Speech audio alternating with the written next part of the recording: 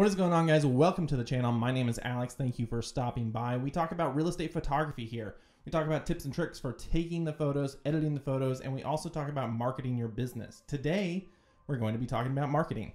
So most of you, I assume, have a Facebook page for your business. If you don't, you should.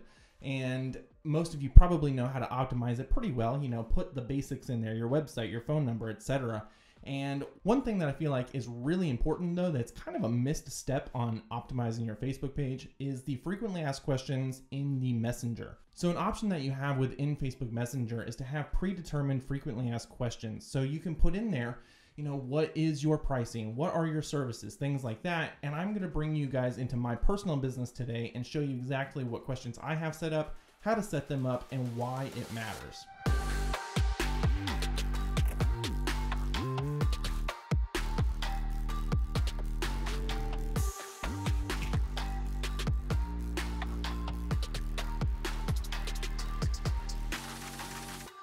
All right, guys, so like I said, we're gonna be going over Facebook Messenger. I'm bringing you into my personal business. It's called Coastal Luxury Image.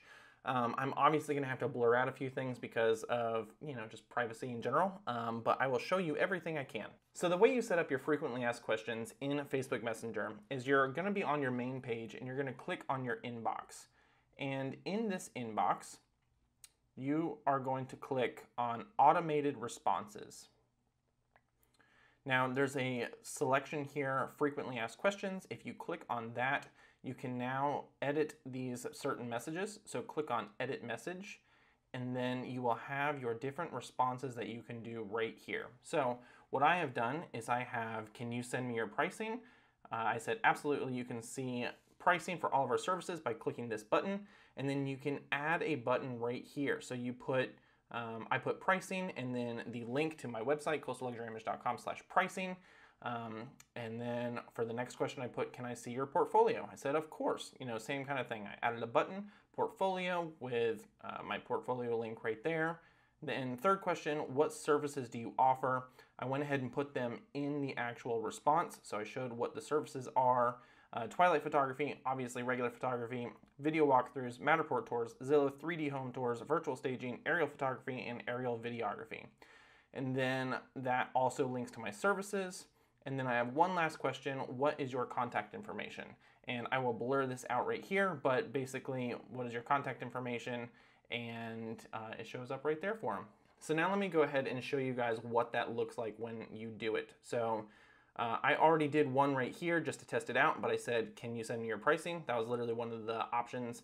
Uh, then it said it right there, uh, gave me the automated response. And then if I click on this, I can see the other ones as well. So if I go, can I see your portfolio? It should automatically answer back and say, of course you can, um, and send me a link to that as well.